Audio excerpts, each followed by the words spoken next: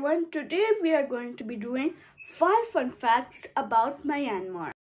Fact number 1. Myanmar is one of the most poorest countries in the world with a GDP of only 87.9 billion USD.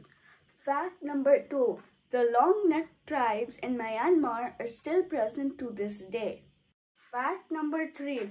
The population of Myanmar is 53 million people. Wow, that is a lot of people.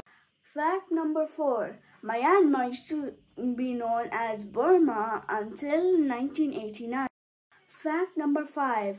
Myanmar has beautiful beaches and it has gypsies. Thank you so much for watching. See you next time. Bye.